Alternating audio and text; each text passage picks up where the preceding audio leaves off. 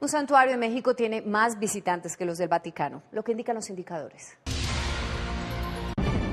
Según el estudio Forbes Traveler, el templo de Nuestra Señora de Guadalupe en México, con más de 25 millones de visitantes al año, es el santuario católico más visitado del planeta, seguido muy de cerca por la Basílica de San Pedro en el Vaticano, que congrega 21 millones por año, y por la Catedral de Notre Dame en París, que convoca anualmente a 14 millones. Esto indica que aunque son menos monumentos, los de América se visitan mucho más.